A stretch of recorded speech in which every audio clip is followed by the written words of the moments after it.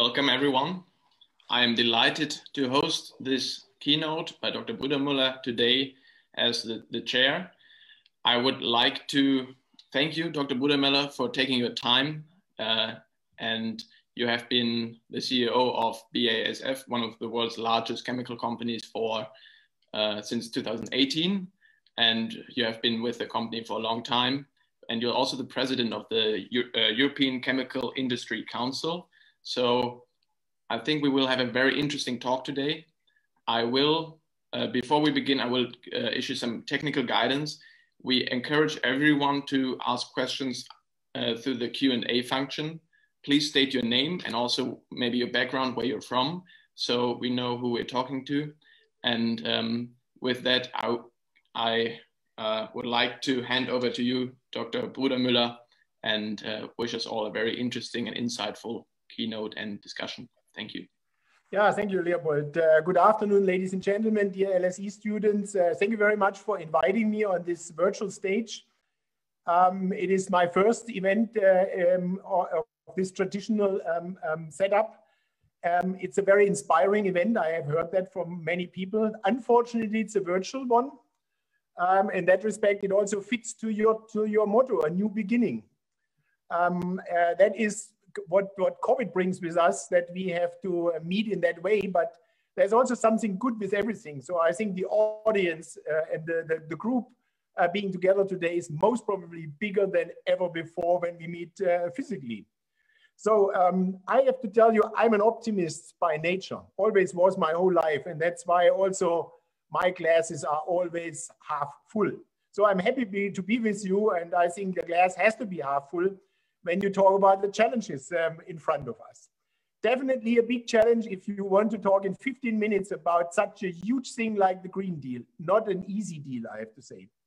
So, but what I would like to do is to give you a bit the perspectives of um, the environment we are as industry in when it comes to the Green Deal and stimulate the discussion later. And I will tell you what our industry is doing and what BASF is doing to prepare for that. And then I really hope for a very lively and uh, challenging uh, discussion. So let me first say, always everyone thinks to have the biggest challenges ever um, since mankind exists. Um, and I think every generation thought about this. And it's most probably even true because from their current perspectives with the state of the art knowledge, uh, it might indeed be the, the biggest uh, challenge. But I have to say, um, I'm leading now CEO as CEO BASF since two years, and I'm 31 years with the company. But all the leaders before me in BASF and in many other uh, companies have had actually their challenging uh, situations, and they have solved this with their knowledge at hand at that time. BASF is 156 uh, 56 years old and went through many, many challenges. And it always took a lot of boldness, entrepreneurship, leadership, but also a lot of mindset change to get along and to cope with these challenges. What that gave to us over that years is confidence that we always master all the challenges. And I think this is very important when we talk about what is in front of us now. It has to become a company culture and it has become also DNA of BASF that we take up these challenges and we grow with them.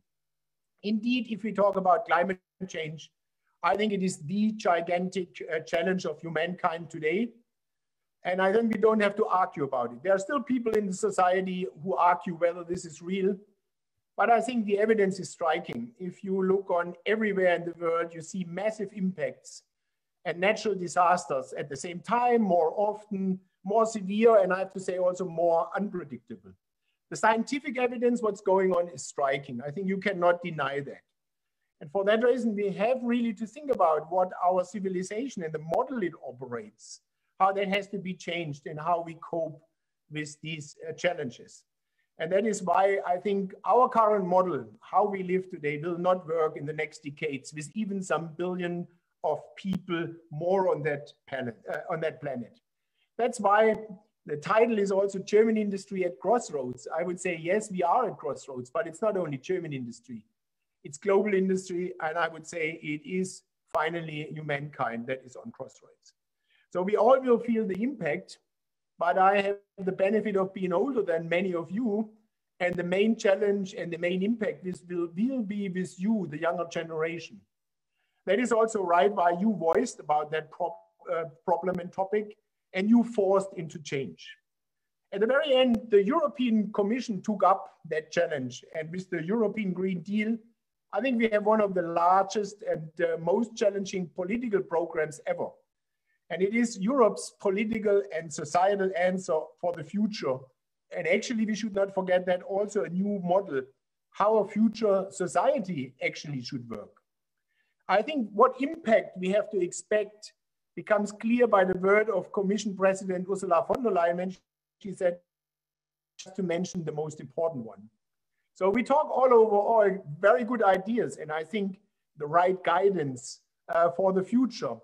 But let me also say from an industrial point of view, but also from a citizen point of view, so far, these are all ambitions, dreams, and wishes. I'm very engaged now in political discussion, both in Berlin and in Brussels, and I tell them all the time, that's like a flight in 15 kilometer altitude. All looks fine if you look down. But now comes the time to touch base and talk about the how. How to achieve these targets and survive, and how we manage all these transformations smartly at the same time in a very competitive world. How do we ensure that the international competitiveness of European industry uh, is maintained in this period? So it is called the Green Deal, but in fact, it is more than green. We have to be clear, it has to be a sustainable deal in the sense that all the three legs, sustainability of sustainability, economic, environment, and social, have to hold and to be in balance. And we have to be aware only a healthy industry during this transformation can finance and shoulder this transformation. And it has also to arrive healthy at the very end of that journey in order to add value to people and the society. So what we need now for doing that is a totally new way of collaborating between society, politics, and industry. The how has to be translated into a very smart, new, positive, and incentivizing regulation, and not how it is thought of many people that it has to be a transformation that is punishing, that is limiting, and that is actually enforcing. That is not going to work. And I think it will depend on this collaboration whether the Green Deal will be a success. So politics is not yet there. They are still in dreamland and they have really to come by, to come down now and engage and talk about the how, how to make this happen. I don't tell you that because the industry is in a waiting mode and said, let's do, uh, let's wait until they come up with these details and then we start. In fact, industry already embarked on that trip for a, for a long, long time. I have now only time-wise the aspect, uh, the, uh, the time to talk about one of these dimensions, which is actually the low carbon future.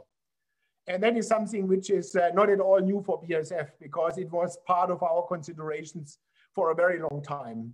You know, maybe chemistry, chemical industry is one of the most energy intensive, and this is also one of the most carbon intensive industries. You might remember that from school when you were in chemistry lessons. Usually when you wanted to start a chemical reaction, you had always to heat up uh, the, uh, to make the, the reaction start. So BASF is the largest chemical company in the world. And with that respect, we have also a leading function. We call ourselves an action and a thought leader in the industry. That was over, over the last 150 years like that. And we want to also maintain this and tell the industry and show the industry how to go into this transition. If you look on BASF globally, we emit 22 million tons of CO2, which is a lot, but it is only half of what we have been emitting in 1990, about 440 million tons. So you can see we already work since a long time in reduction of CO2. And it is pretty remarkable because at the same time, we have actually increased our production volume by 50, by uh, doubled our in, um, production volume over that time. So if you look on a product, uh, one ton of sales product, we had 2.2 tons emission of CO2 in 1990, 0.6 in last year. And we are further going down because our corporate strategy includes that we want to grow carbon neutral until 2030, while we again want to increase our volume by another 50%. So we will reduce the carbon backpack from 0.6 to 0.4 tons of CO2. So let me make this a little bit more tangible for you what that really means. A huge effort. Ludwigshafen is the largest chemical site in the world, which is in the property of one company. It's a huge, huge area, about 10 square kilometers. We have 35,000 people working there, another thousands, thousands of contractors. It's 3,000 kilometers of pipes. It is a huge integrated production site with 8 million tons per year. We have 2,000 trucks going in and out in the site and 40 ships on the Rhine every day. So it tells you it is huge. And it's 8 million tons of CO2. And to put that in perspective, it's about 1% of Germany. So we are relevant and we have to contribute. As I said, we are energy intensive. We have an energy need of about 55 um, terawatt hours uh, per year. To give you a perspective on that, that is like 2 million single family homes um, equivalent. So it is huge. So what we have um, done last uh, over the last years is to really fully understand where our CO2 comes from and how we best eliminate it. What are the technologies we need in order to tackle it and to, to address it? We have uh, put that together in a very unique program. We call it Carbon Management Program in BASF. And that is actually um, bundling all the um, technologies uh, which has to come out of R&D in order to prepare ourselves to decarbonize. I'm a little bit shaking when I hear the word decarbonization because actually 75% of the carbon we buy is not CO2, but our products we sell. So if we would carbonize, decarbonize ourselves, we actually would have nothing to sell anymore. So we better call it carbon management. So now if you think about that, we are very energy intensive and uh, yet you cannot change thermodynamics. You can only think about what is the way to bring energy into the chemistry. We cannot get rid of it, but we can change the type of energy we actually use. And if you start to think about that, there's only one way to get rid of the CO2. It's electrification. So switching from fossil-based uh, um, um, heating um, materials to electric energy from renewable sources. That is uh, a, a, huge endeavor because we need masses of uh, renewable energy, certainly at very low cost. Also here that you get an idea about the challenge. The German Industry Association for the Chemical Industry, the VCI, has actually done a study to calculate that the German chemical industry alone would need more than 600 terawatt hours in order to electrify completely. To put that in perspective, that is about three times as much of renewable energy production in Germany today. And I talk now only about the chemical industry. We, in the same time, we want to have e-mobility. We want to change heating systems in houses and convert all the other CO2 sources. So that shows you it's a huge endeavor. And uh, the chemical industry, in order to be successful, has to become access to huge amount of renewable energy. And this is why this is also key in the European plan that we need much more of these offshore wind parks, both solar um, farms, and so on in order to generate and produce this uh, energy to make uh, the conversion happen. You can imagine if you do that, electricity prices are usually very high in Europe it is challenging your competitiveness because fossil based is certainly much cheaper, even with CO2 prices increasing. So we need here the shoulder to shoulder approach with politics in order to fund um, also new technologies, but also talk about how we can get actually this, uh, the electricity prices uh, further down. And this is really uh, the challenge uh, going forward uh, together. On the other hand, uh, very clear, you also want to have a better idea, what do you mean with electrification of, of chemistry? i give you one good example. You might know that in chemistry, everything starts with the steam crackers. This is very huge capital intensive machines that are at the beginning of value chains. So you normally they, you take a hydrocarbons from a refinery with the long hydrocarbon change, you heat them to 850 degrees in presence of steam and then the, the, the chains crack and you get small molecules, which are actually the building blocks to do for the chemical industry. You have to do that chemical reaction at 850 degrees Celsius. And what you normally do is these big ovens, they are heated by natural gas. And this natural gas generates about one ton of CO2 per ton of sales of, of final product. That's a huge amount. So what you can do now, and BASF has developed uh, technologies over there, you can actually do that electrically. And you have to imagine that looks a little bit like a toaster. You have in these ovens no longer an open flame, but you have uh, glowing um, um, time to talk about hydrogen, which is very much in everyone's mouth. And it is a key ingredient, particularly if the hydrogen is produced from water electrolysis or methane pyrolysis, because then it's CO2 free. The ordinary process in chemistry is normally process steam reforming where you produce one ton of hydrogen is 10 tons of CO2. So it is another very big lever to get rid of CO2. There are many, many more ingredients which I cannot uh, point to, but you can imagine if you want to go on that route, you need a whole bunch, a portfolio of technologies. Partially they are there, partially they have to be developed. And that is what we have in our carbon management program until 2030. We will go now in the first steps of pilot plants, and then in the second half of the decade, we'll increasingly scale them up, and with this then having also the effect to really reduce CO2. So that is the part we can do. But behind us, there are others in the chain. It's first of all our customer industries that use our products that have to take care also for their own products to make them CO2 free. And then there is at the very end the consumer, for example, you. If you really want that new future to happen, you have also to accept changes in your behavior. Because what is very clear already today, if we want to produce chemicals and the products of our customers CO2 free, they will be more expensive. That means overall spending pattern of consumers have to change. We have to accept that certain products have a different pricing, that we have different priorities in the consumption. And this is why it is very important for us to make this transition a success, that we work with our customers on new business models. And what we have done, and this is a pretty remarkable exercise because it's also a, a digitalization challenge, we have actually 45,000 sales products in BASF that coming out of this network, which we call Verbund.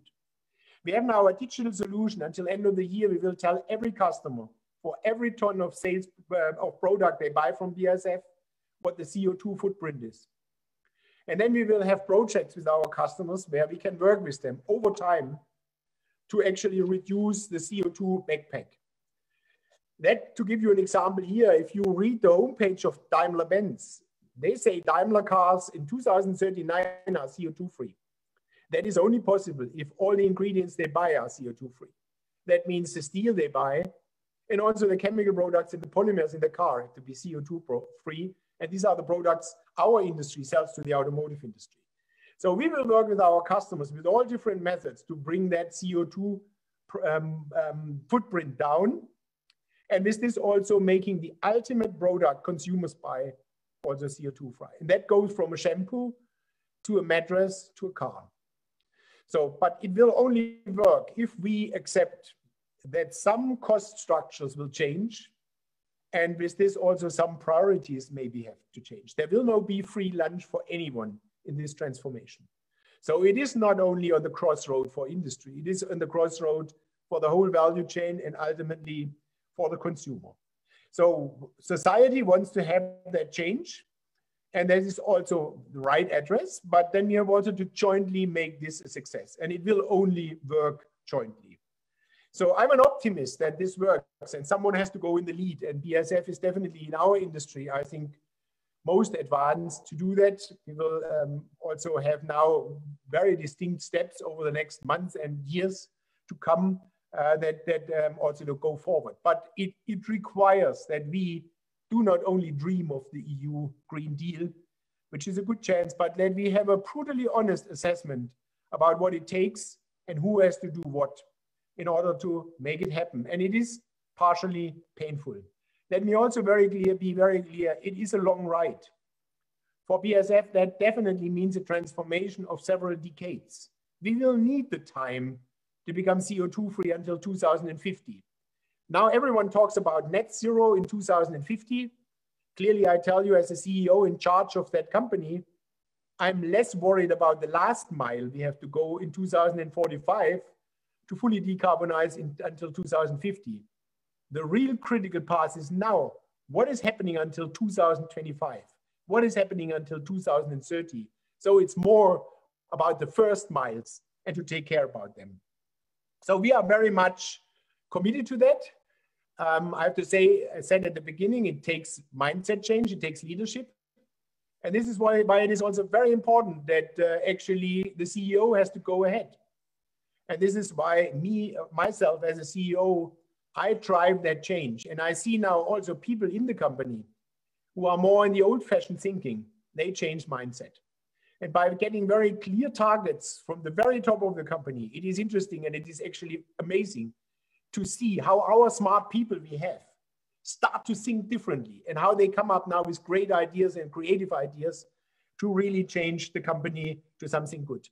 Let me close to say that the chemical industry is a very indispensable part. It is, we call it the mother of the industries because it is at the beginning of the value chains. Almost all manufacturing industries need somehow products from the chemical industry uh, to produce their goods. And if you think about the Green Deal, which has so much on its agenda, like, for example, e-mobility, think about e-mobility. The crucial part is the battery. The battery is nothing else than a chemical reactor. It will depend on how good that chemical reactor is, how much um, electric cars will be accepted by people. Think about windmills. They get bigger and bigger. They need new materials from the chemical industry. Think about housing, insulation materials. This is all products from the chemical industry. So it is about our innovation force for our products we offer, but also our own responsibility to get rid of CO2 during our process. So that's a very ambitious plan, but it is also something uh, where I can see that slowly everyone joins in, uh, creates a lot of enthusiasm in my own company. Employees are proud that we go that way and customers are joining. So we started to embark on that in a big, a little bit in a nutshell now for you in 15 minutes. And uh, let me say that uh, that is a opportunity also for BASF to differentiate because I think those who are first and faster, they create the competitiveness of tomorrow. And I'm deeply convinced if we do it right and we join forces, we will make this energy transition towards a net zero world in the same moment competitive. And then this is the future of Europe. My company brings that together with our purpose, which is we create chemistry for a sustainable future. And I think that expresses what our mission is, what our dreams are. And with this, uh, let me close here. And uh, I think I'm a little bit over the 15 minutes, but uh, thank you very much for listening. And I hope I brought you up for a now a very uh, lively discussion. So thank you very much. Well, thank you, Dr. Brudermüller, for that very insightful uh, keynote, and uh, it's nice to see what you do at BASF. Um, I would like to ask very, the very first question about um, this dichotomy that we had in the past between the environment and industry. And usually, when we had environmental regulation, the industry was opposed to it. And now we have this, the case where the industry is actually embracing this change. They're embracing the um, carbon, uh, yeah, carbon 2050 goal by, by the EU. Um, but I would like to draw the attention to other environmental problems as well. So if we uh, look at biodiversity loss, it's also a very challenging problem. And it's also part of this Green Deal by the EU. So I would like to ask the question whether whether it could also be a, a, an opportunity for, for the chemical industry to incorporate other environmental issues such as biodiversity loss into their um, yeah, company uh, policy and company uh, purpose? Actually, Leopold, we have to do, and we do that. Um, I mean, as I said, for time reasons, I only talked about the energy transformation. We, in the same moment, have many other transformations. We have to go away from fossil raw materials into bio-based. We have to address circular, which means we have to close the loops because a lot of the value chains are actually open.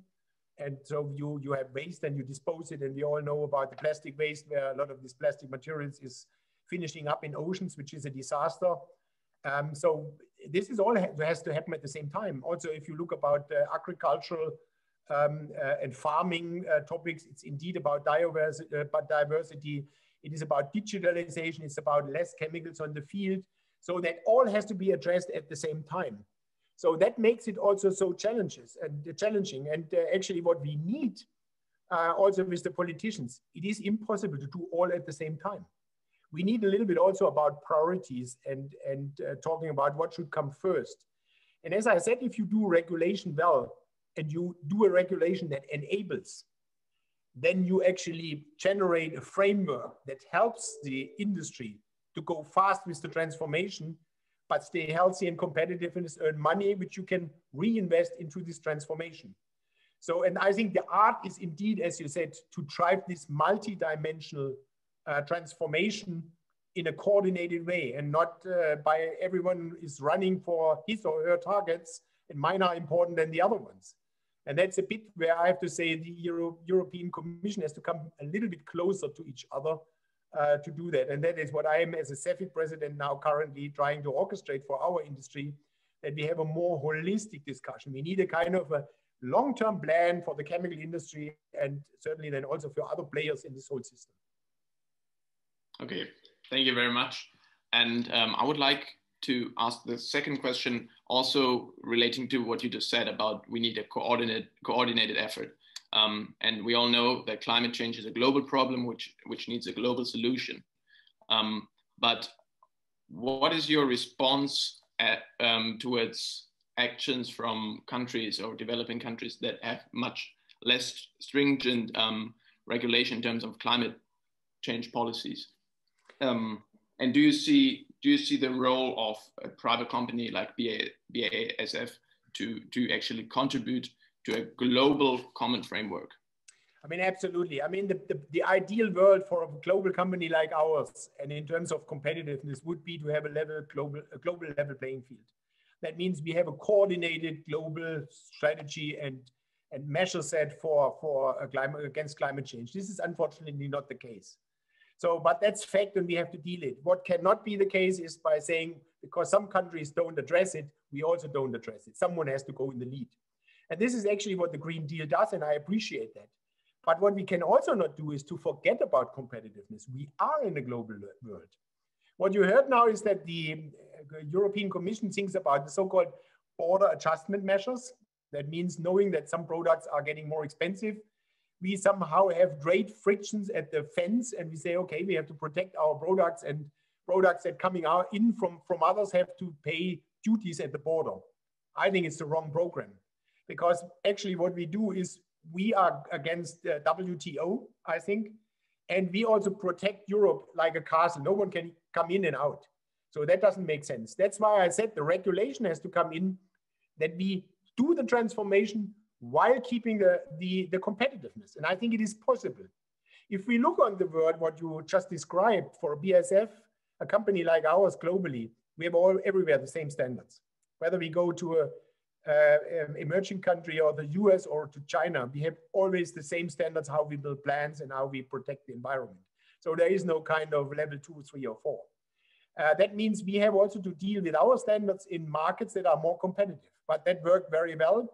And if you look, for example, in China, I think BASF is the largest foreign investor in the chemical industry over there. We have actually took, taken a lot of impact on the EHS level China has today. And it's also very much acknowledged that basically BASF taught a little bit the industry how to level up uh, uh, in terms of standards. So for that reason, we cannot uh, complain about uh, not having a global CO2 price. We have to actually live with it. But let me make one last statement. The EU thinks now with the Green Deal, they have something very special no one has. If you follow up the news, China has actually committed to peak in their emissions in 2030 and to be net zero in 2060. And the US with the Biden administration will also to step up their efforts on climate change, which is great. And they go back to the Paris Agreement. But that means Europe will get a lot of competition also from other areas in the world. And that's why I think we better be fast and we better also talk to others because I think it is very much about collaboration also with other uh, countries. And we might then uh, also come to the agreement that we have a bit a broader setup of rules, not only for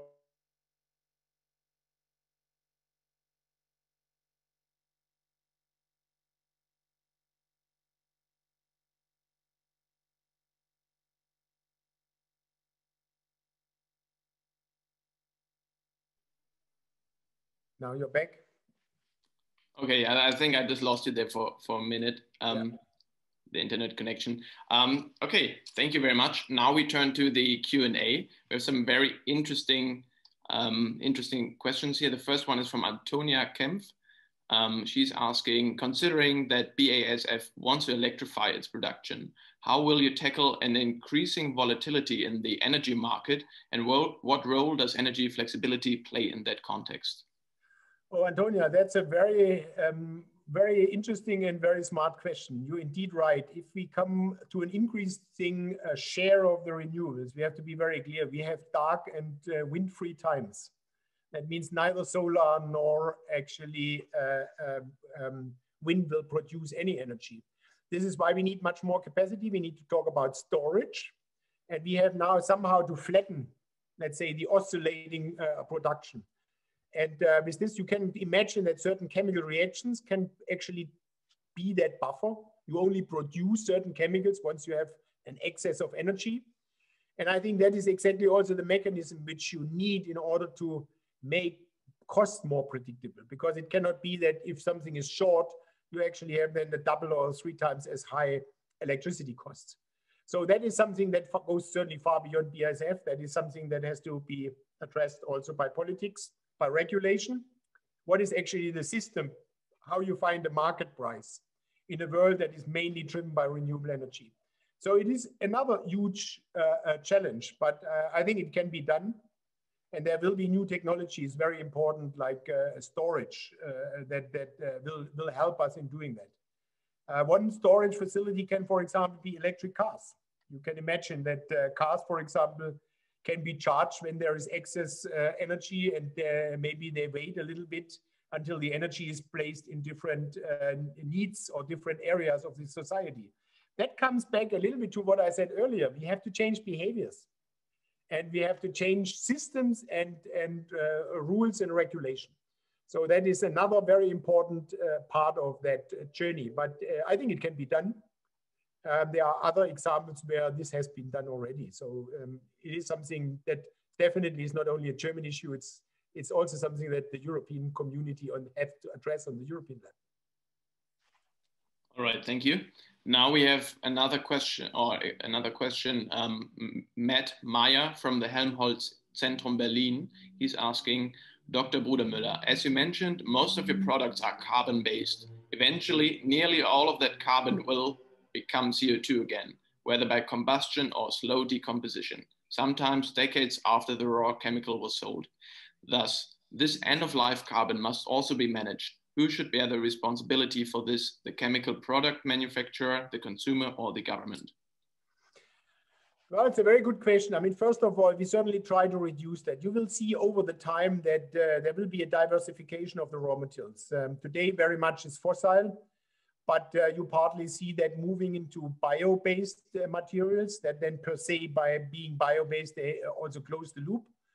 And then you have also recycling. We call that chem chemcycling, that for example, plastic material that is used is basically pyrolyzed and then converted back into a kind of an oil, which you then can start uh, to do chemistry with at the very beginning of the value chain. So with this, you will see that carbon that ending in, in straight linear value chains going down over time. But let's be very clear. I mean, we will have also material that is not recyclable if you, for example, think we produce a dispersion for a paint uh, to, to paint your house, uh, you cannot take the paint up uh, off anymore and to recycle it. So we will have uh, systems where we still have the, the, the, the straight uh, way. And then we have to talk about the, the CO2 pricing. And I said this at the very beginning. I mean, consumers have also to take their share uh, because certain consumption behaviors have to change or if someone does certain things, has then also to carry the cost uh, for CO2. And uh, certain company compensation most probably has to go also via, for example, reforestation, um, these kind of, of things where you then take the CO2 from the atmosphere and basically bringing down to, to bio-based materials. So it will be a complex uh, um, uh, framework and uh, we have then to see what the burden is who someone creates. And with this also pay at the very end the CO2 cost. But it's very clear at the very end, The consumer pays everything. You cannot expect that the industry somewhere in between digests something. Yes, margins go down. Maybe you have a lower EBITDA margin in future. I don't know. But at the very end, the cost have to come with the consumers. And I think this is also where the ultimate consumption is, and it's it's it's right like this. Okay, thank you very much. Um, now, also touching on what we had earlier about the environmental um, environmental emissions besides CO2, uh, we have a question from Maximilian Pott. Um, so, industrial wastewater from chemical production poses a great threat to the environment. What solutions, and maybe very precise solutions, do you see to reduce polluted water contaminating clear water? Well, Maximilian, I think it's not such a big problem because it is handled very, very clearly and transparently today. So we, for example, in Ludwigshafen, we have one of the largest wastewater plants in the world. It's not only taking, by the way, the wastewater of our Ludwigshafen site, it is also taking the municipal um, wastewater from two or three cities around us. And uh, with this, it goes through the, the, the steps of mechanical, chemical, and biological treatment and we have very clear uh, understanding what is actually happening there. I think what is important, and maybe what you what you um, tip on is water management overall. This is all why by BASF is uh, very advanced in water management. You have also areas where you operate where water is scarce, and where you actually have to trim your processes that you use the least amount of water you can, or within the chemical process you already recycle water to need as low as possible volumes of fresh water. So we have just recently been got, got a, a, very good award and recognition for being advanced in this. So, but I would say that is not a critical problem. Uh, I mean, wastewater treatment is under control, but uh, you have to look on your responsibility in areas where the water is needed for other purposes, be it farming or be it the living of people. I think that is the crucial topic. Okay, thank you. Um, now a question from Andrew um, from Bloomberg. So uh, BM, BMW today announced a large contract for the first aluminium produced using solar power from Emirates Global Aluminium for their electric vehicles platform. Do you, do you expect BMW to soon make similar demands on its plastic suppliers? It's very probable because, I mean, um, these kind uh, of customers, automotive industry is the most important uh, industry, uh, customer industry of BASF. It's about 20% of our sales. And it's, by the way, also the most innovative industry, I have to say. This is why it is also so interesting because BASF is an innovative company too. We indeed talk about this, and this is what I said earlier. I mean, uh, I used the example of the car, I used the competition Daimler because they had uh, addressed it. Yes, they talk about this with us, and they say at a certain amount of time, you have to show us how you reduce the CO2. Because if our part that comes into a car, which is scope three for the car producer, it has to be CO2 free. And uh, I regard this actually as a huge opportunity because if you can offer products with lower CO2, you have actually a competitive advantage against your competitors. And normally these kind of products, which we call accelerator products, these are chemical products that have an advantage in terms of sustainability we can prove they, they grow faster and they have higher margins. That means also our customers award, reward that there is an extra benefit in these products. And this is exactly this kind of business models where I have been talking about.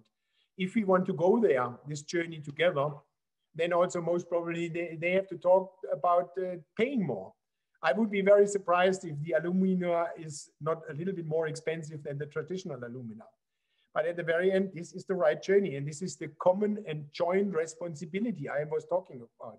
And it's actually a good example. You see that also a customer like B a company like BMW cannot solve that problem alone. They need their suppliers in the value chain to reduce CO2 as they expect from us. I have to expect the same from scope three for BASF.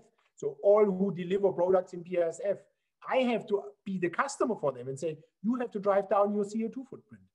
And this is what I was talking earlier. It has to be a joint effort.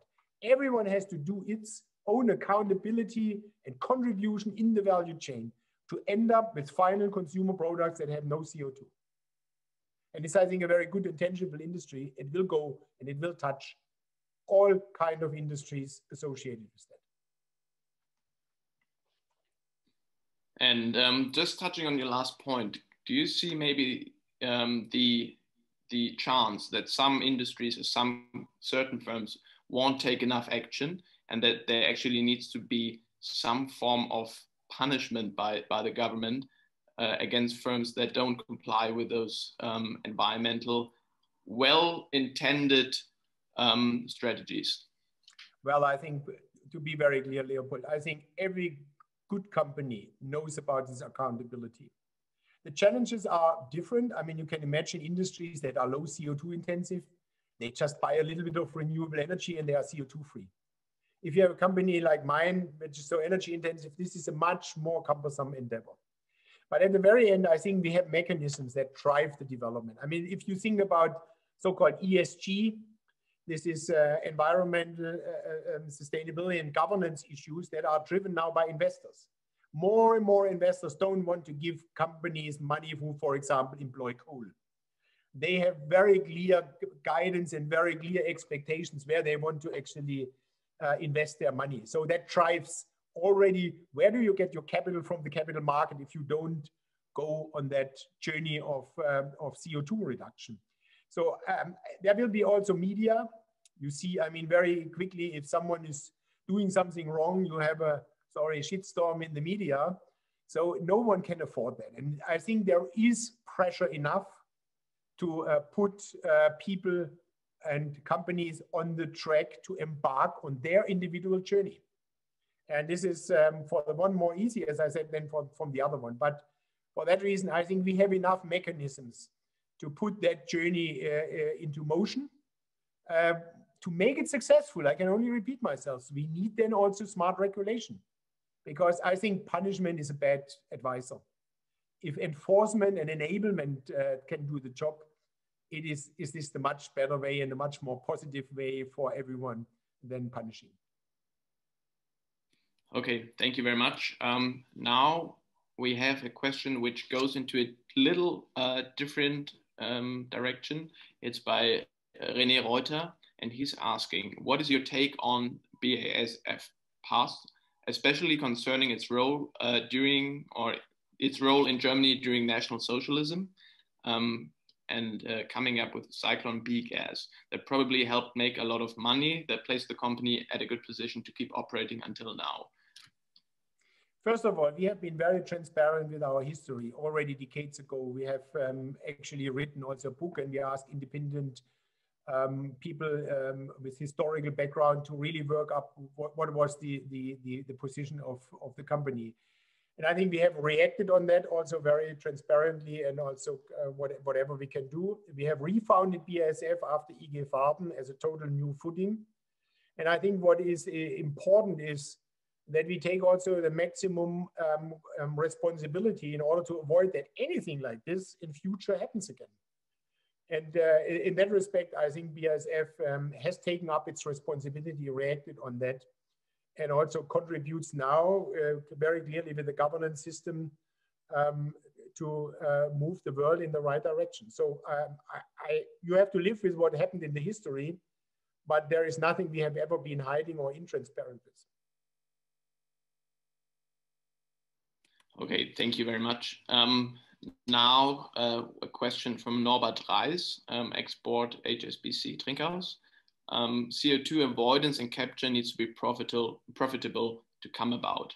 What incentives would you suggest to the political and regulatory world to make that happen? Well, I mean, as I said, I mean, we embarked in discussion. Let me make this very tangible. If you, if, if we, for example, talk about renewable energy, it's interesting, uh, today an offshore wind park has a very competitive energy price for a kilowatt hour of, of uh, um, electricity produced. If you look on the German system, taxes, grid costs, other costs, and the so-called EEG uh, makes out of five cent almost 17 cent. If you try to electrify the industry with 17 cent, you lost the ground before you even start. And that is not international competitive. So when we have to talk with them, we have to talk about the whole system. Politics always likes to make a little bit here, a little bit there, and a little bit change of here. It's not doing the job. If you really want to manage this challenge, and this was why I talked the first five minutes about it, we have really to say we need a totally new system for energy pricing. because that is exactly the enabling thing I talked about. If you have energy cost at five cent and then a slowly rising, every year a rising CO2 price, you have actually exactly the right framework to do that. It is economically feasible and rational and logic to do certain transformations. Because if you do not, that's also the punishing element, you will be caught by rising CO2 costs. That will add so much cost that you are no longer competitive. So with this, you basically have to use the technologies to go on this journey. But we have to talk about such an enabling system. And I think energy pricing is a very good example here. If we think we should remain with the highest um, energy cost in the world, which is currently the case in Germany, we will lose that race. Okay, thank you. Um, a question from Simon Krause, student at the LMU.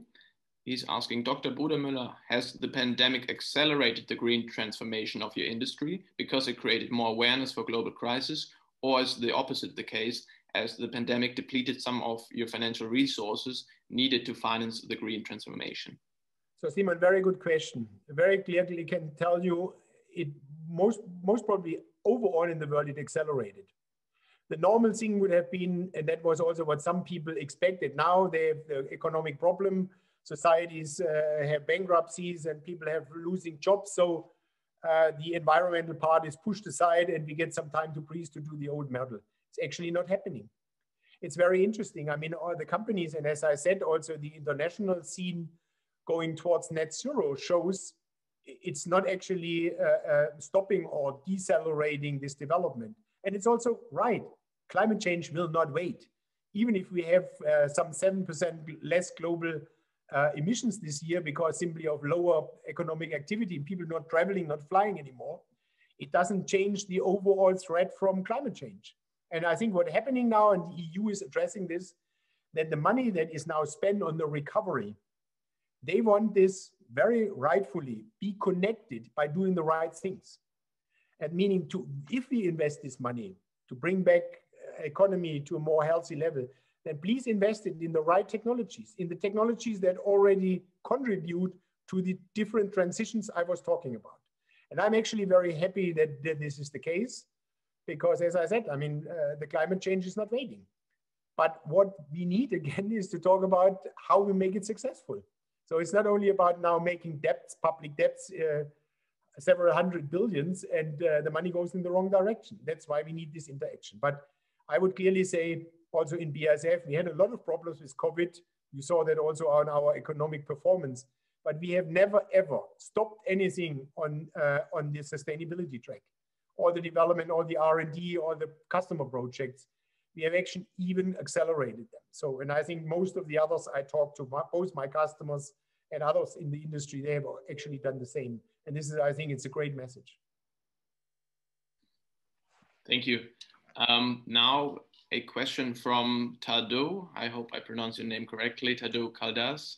Um, Mr. Brudermüller, thanks for a very interesting presentation. Could you please explain briefly what is for BASF the future of plastic?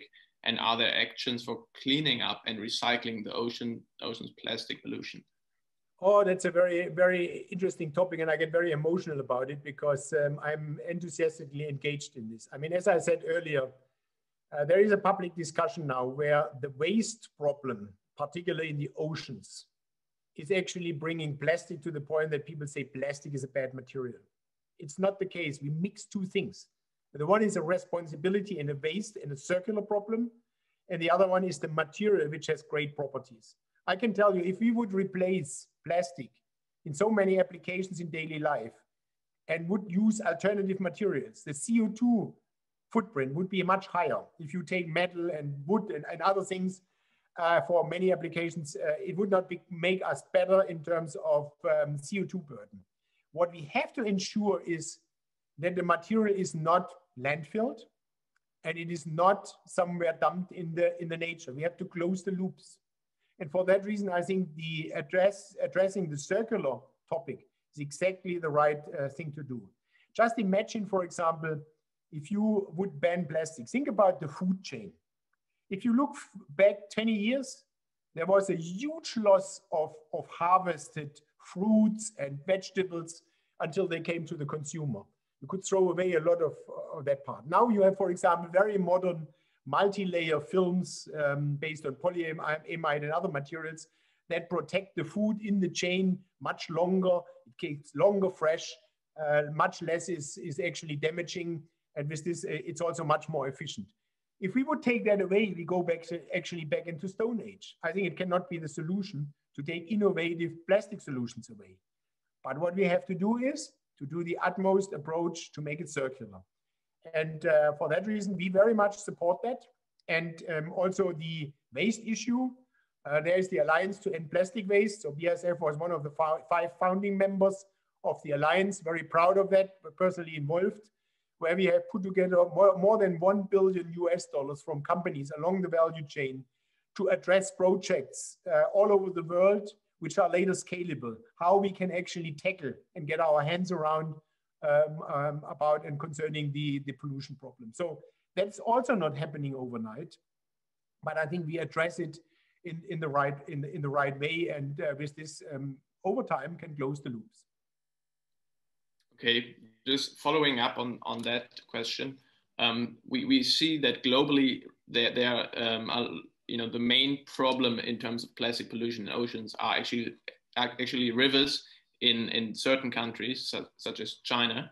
And um, when you, you know, as BASF uh, talk about, you know, you want to fight against this challenge, um, like how actually effective can you be? That's the one question because it comes down to other countries uh, or governments. And then following on from that is also, wouldn't it be better if you make sustainable products in the first place or, or not not su sustainable, but also um, products or plastics that can be completely biodegradable, so bioplastics. Thank you very much for that question, Leopold. I mean, you you you really addressed the, the, the big problem. I mean, a single company has very limited impact. I mean, how should BASF clean the world? Impossible. We can neither finance it, nor we can engage in, in national legislation. What we can do is, and that brings me back to what I said at the beginning, also here, industry and governments and society have to collaborate. They have to join forces. And uh, at the very end, what we can do, and this is what the Alliance to End Plastic Waste does, we can offer solutions, test them, pilot them, and then if they are working, we can actually translate them and replicate them hundreds of times in local environments. If we do it right again, we will create jobs in area where there are no jobs. For example, if you think that you have people in poor countries who collect uh, plastic waste uh, in, a, in a very systematic manner and bring it back as a raw material and they get reimbursed because the raw material has a value, you actually do not only close the loop, but you also generate socially uh, wealth and well-being and salaries for people. But that has to include a, a, local government. They have to say, okay, I'm with my legislative framework contributing to this. You have to do in country A a little bit different than in country B. So this is why this is an, a joint effort. You are right when it comes to uh, product development. That's also what our innovation does. We always try to do solutions that are better than the last ones. But as I said earlier, if you have some products that are recyclable and it's part of the design of the value chain, we do that. There is material which our customers bring back and say recycle. That is the ideal thing. But you have also products which you cannot recycle.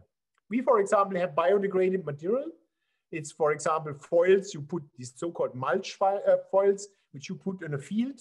You see that sometimes over winter time to protect, and they actually biodegrade. You put them, when the machine comes, they put them just under the soil and they, they degrade and it, it's fine. There's no waste left.